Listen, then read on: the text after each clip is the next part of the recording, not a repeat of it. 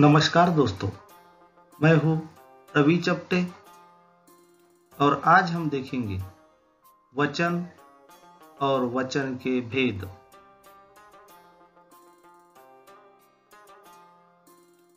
सबसे पहले देखेंगे हम वचन किसे कहते हैं। वचन का शाब्दिक अर्थ संख्या वचन होता है। संख्या वचन को ही वचन कहते हैं। संख्या के जिस रूप से किसी व्यक्ति वस्तु के एक होने का या एक से अधिक होने का पता चलता है, उसे वचन कहते हैं। अर्थात, शब्द के जिस रूप से उसकी संख्या का बोध होता है, उसे वचन कहते हैं। दूसरी परिभाषा देखो वचन की।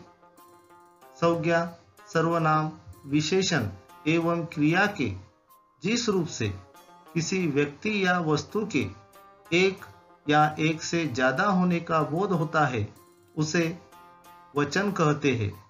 जैसे लड़का, लड़के, पुस्तक, पुस्तकें। वचन के भेद। वचन के दो भेद है। एक एक वचन और दूसरा बहुवचन। एक वचन से हमें एक ही वस्तु का बोध होता है।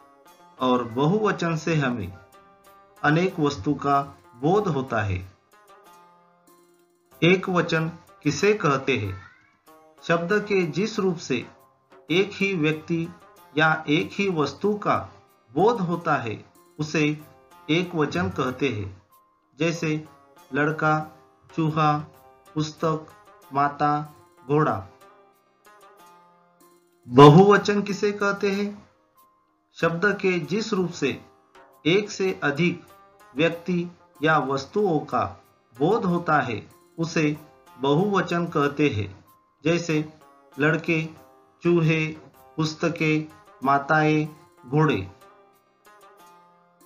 एक वचन शब्दों के बहुवचन रूप देखिए। लड़का, लड़के, चूहा, चूहे, पुस्तक, पुस्तकें, माता, माताएँ।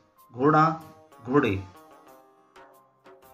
अगली वीडियो में हम एक वचन एवं बहुवचन के नियम और एक वचन से बहुवचन बनाने के नियम देखेंगे। धन्यवाद।